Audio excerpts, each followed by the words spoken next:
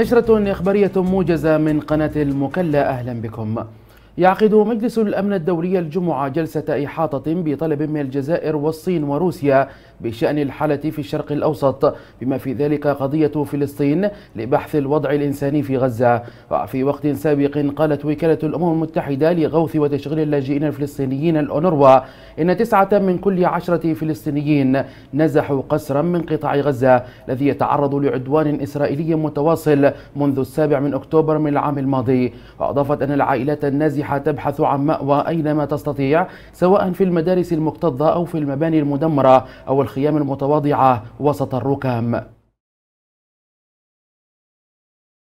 وفي سياق متصل قال المفوض العام للأونروا فيليب لازاريني إن اكتشاف فيروس شلل الأطفال في غزة تطور خطير في رحلة البؤس التي لا تنتهي.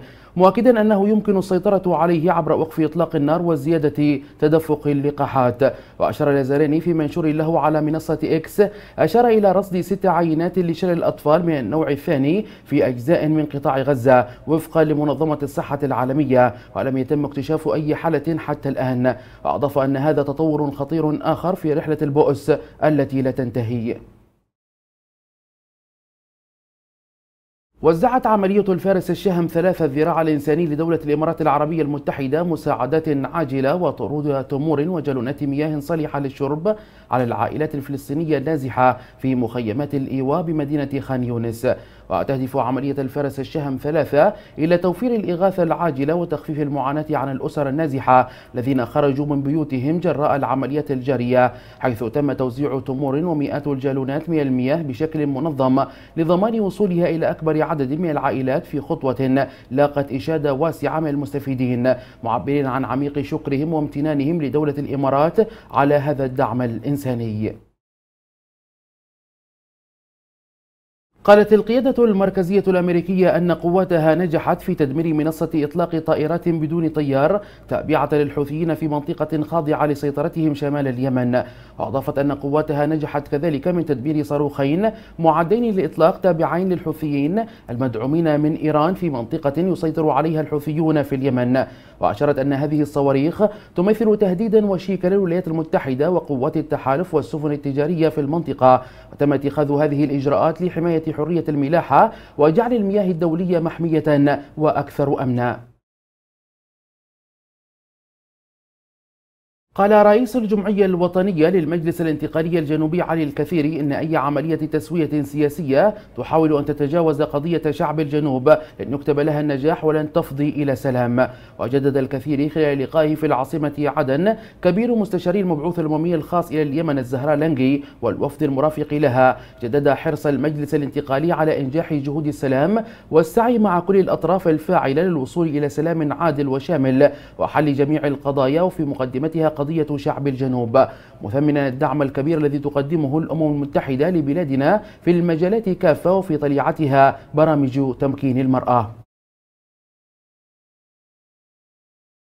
شهدت العاصمة عدن مساء الخميس عاصفة رملية عنيفة حيث حملت الرياح القوية كمية كبيرة من الرمال من الجهة الشمالية الغربية. وقال شهود عيان أن الغبار الكثيف قد غطى المدينة مما تسبب في صعوبة التنفس لدى المرضى. وأدى كذلك إلى تدهور الرؤية بشكل كبير وتعطيل حركة المرور في العديد من الشوارع الرئيسية بعدد من مديريات العاصمة. اطلع محافظ شبوة عوض بن الوزير على الترتيبات الفنية والقانونية للتوقيع على عقدي إنشاء مشروعي روضة أطفال جديدة في مدينة عتق ومدرسة النقوب بمديرية نصاب بتمويل من الأشقاء في دولة الإمارات العربية المتحدة. وخلال اللقاء أكد المدير العام لمكتب التربية بشبوة أكد على جاهزية عقدي المشروعين للتوقيع في مطلع الأسبوع القادم. معبرا عن تقديره لرعاية ودعم المحافظ بن الوزير للقطاع التربوي ومساندته لتجاوز كافة الصعوبات في القطاع. في شبوة أيضا وقفت لجنة الخدمات وتحسين المدينة برئاسة وكيل المحافظة المساعد محمد الكندي وقفت أمام عدد من القضايا المدرجة في جدول أعمالها وطلعت اللجنة على أبرز التعذيات والبسط العشوائي على المساحات العامة بمدينة عتق وأقرت البدء بإزالتها كافة ابتداء من يوم السبت القادم. كما أقرت اللجنة توجيه مديري عموم الكهرباء والمياه والأشغال العامة والاتصالات بوقف إدخال خدماتهم للمخططات غير القانونية وأماكن البسط العشوائي. اطلع رئيس انتقال حضرموت العميد سعيد المحمدي على مناشط وأعمال اتحاد الملتقيات التطوعية بالمحافظة.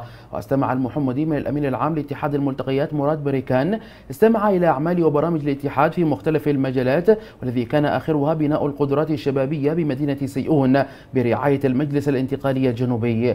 وأشاد المحمدي بجهود الاتحاد في خدمة المجتمع وتأهيل الشباب وتدريبهم. تزامنا مع فعاليات مهرجان موسم نجم البلدة السياحي اختتمت بمدينة الشحر بطولة دوري نجم البلدة لكرة القدم لفرق الحواري فئة فريق أول. ونظم الدوري بإشراف المجلس الرسمي لفرق الحواري بالشحر برعاية من مكتب الثقافة بالمديرية ضمن الفعاليات المصاحبة لمهرجان البلدة السياحي. وتوج فريق الفهد بطلا للدوري بعد فوزه بركلات الترجيح على فريق تحدي عيديد بعد انتهاء شوطي المباراة بالتعادل الإيجابي بهدف لكل منهما. وشهدت المباراة أجواء حماسية وسط حضور جماهيري غفير. ختام نشر الموجزة إلى اللقاء.